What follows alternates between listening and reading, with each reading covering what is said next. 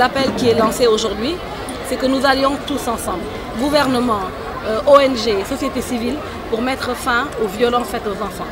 Cela fait 30 ans que nous essayons de, venir à bout euh, de certains fléaux. Cela fait 30 ans que nous avons des avancées, mais il faut aujourd'hui que nous changions de paradigme et que nous puissions aller euh, de façon plus coordonnée dans nos interventions. Et j'en profite pour faire un appel à nos parlementaires afin que le projet puisse être euh, adopté euh, dans les plus brefs délais pour une meilleure prise en charge des droits de l'enfant dans notre pays.